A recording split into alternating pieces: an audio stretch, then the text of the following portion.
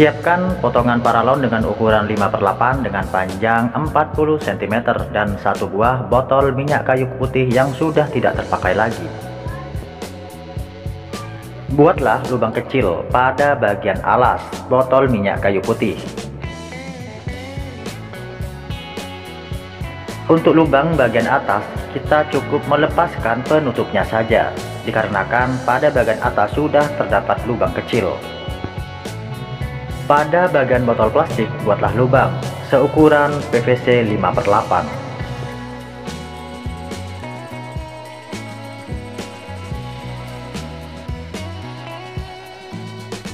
Bersihkan bekas pelubangan tersebut.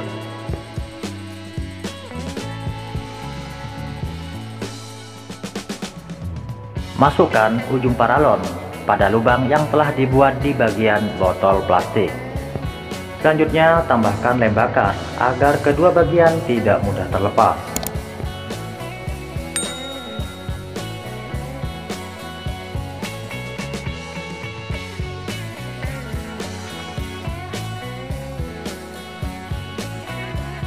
Potongan paralon dengan ukuran yang sama yaitu 5 per 8 dengan panjang 10 cm.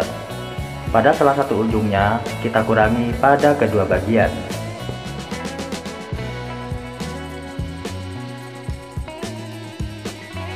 Selanjutnya kita akan menggabungkan pada paralon yang telah dirangkai sebelumnya. Dengan menggunakan solder, buatlah lubang kecil yang kemudian kita akan menempatkan paku kecil dan juga ditambahkan menggunakan lem bakar.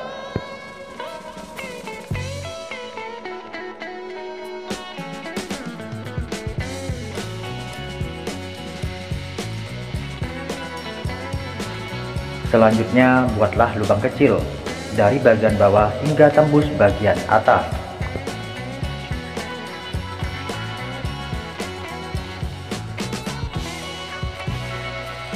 Serta buatlah lubang kecil juga pada bagian paralon yang pertama. Potongan kawat dengan panjang 15 cm. Dengan menggunakan bantuan paralon, kita akan membuat bentuk lingkaran kawat tersebut.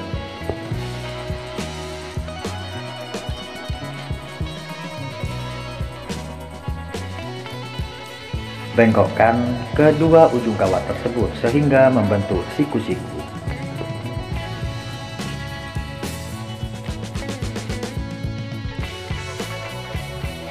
Yang selanjutnya, masukkan kedua ujung kawat pada lubang yang telah disiapkan pada paralon. Pada kedua ujungnya kita bengkokkan sehingga kawat tersebut tidak mudah terlepas.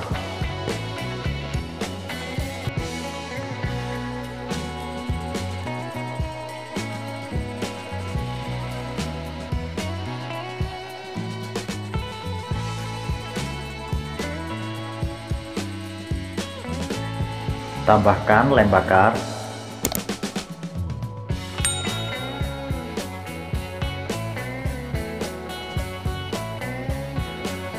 Dengan menggunakan solder, buatlah belahan pada paralon dengan panjang 10 cm. Buatlah belahan seperti pada video.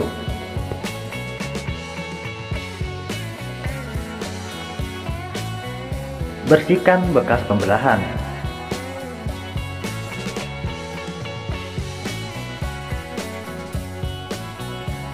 Satu tutup wadah belahan plastik kita akan posisikan salah satu tepinya pada belahan yang telah dibuat pada salah satu ujung paralon yang ukuran 10 cm.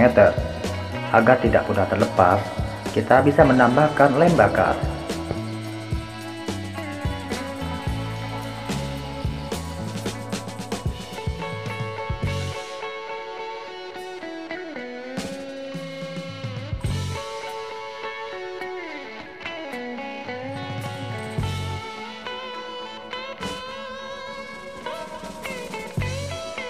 potongan kawat atau bisa menggunakan kunci roda sepeda dengan panjang 10 cm dan dua pembatas berukuran kecil yang bagian tengahnya sudah dibuat lubang. Dengan menambahkan lem bakar pada salah satu ujung kawat, posisikan salah satu pembatas.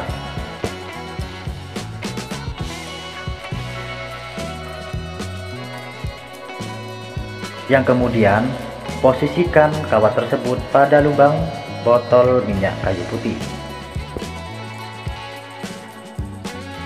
Selanjutnya, posisikan juga pembatas yang kedua dan tidak lupa untuk menambahkan lem bakar.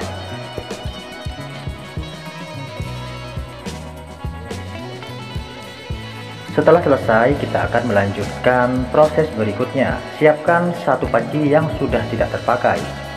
Pada bagian sisi panci tersebut, buatlah dua lubang kecil. Pembuatan lubang cukup menggunakan paku saja.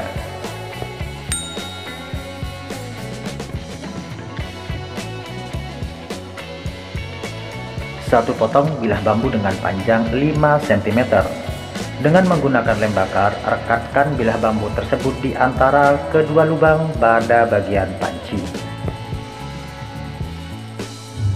Siapkan juga seutas tali. Masukkan tali tersebut pada lubang yang telah dibuat.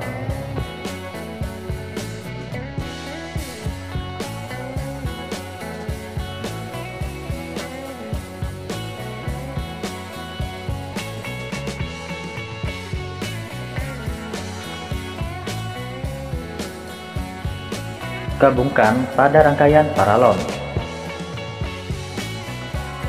Ikatkan tali dengan kuat pada paralon sehingga panci tidak mudah terlepas.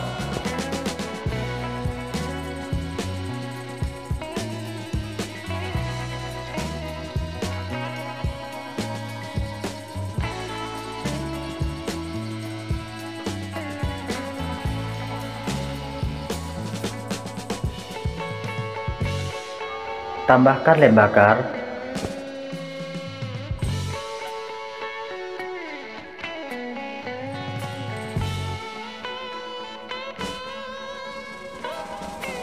Berikutnya, siapkan sebuah tiang. Tinggi tiang menyesuaikan dengan kebutuhan.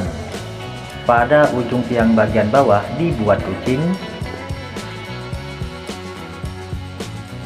serta ujung tiang bagian atas ditambahkan potongan putih roda sepeda dengan panjang 5 cm bagian luarnya.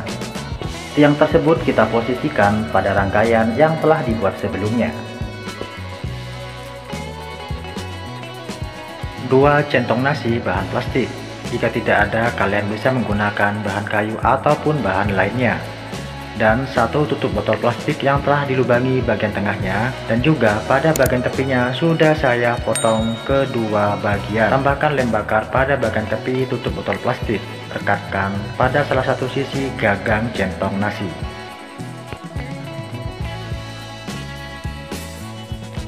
selanjutnya tambahkan lem bakar pada bagian sisi lainnya pada tutup botol plastik yang selanjutnya rekatkan juga centong nasi yang kedua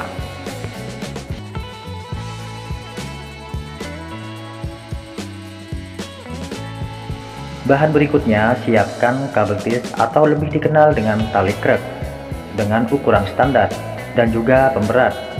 Masukkan kabel tis tersebut pada lubang tengahnya. Siapkan sebanyak dua. Yang selanjutnya, kita akan merekatkan pada ujung baling-baling. Rekatkanlah menggunakan lem bakar.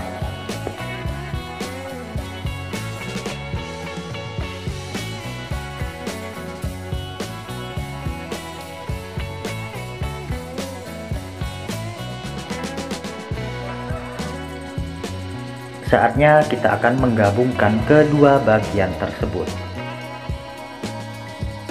Tambahkan sedikit lem bakar pada bagian tengah lubang baling-baling. Masukkan ujung ruci roda sepeda pada lubang tersebut. Semua bagian sudah selesai dibuat hingga proses perakitan. Dan saatnya kita akan melakukan uji coba alat ini. Demikian video kali ini yang dapat saya bagikan. Semoga video ini bermanfaat. Selamat mencoba dan semoga berhasil. Jika ada hal yang ingin kalian tanyakan, silahkan tulis pertanyaan kalian di kolom komentar. Bagi kalian yang baru menemukan channel ini, silahkan tekan tombol subscribe dan tekan tombol loncengnya agar tidak ketinggalan video terbaru lainnya. Sampai jumpa di video lainnya tetap di Ide Kreatifku Channel.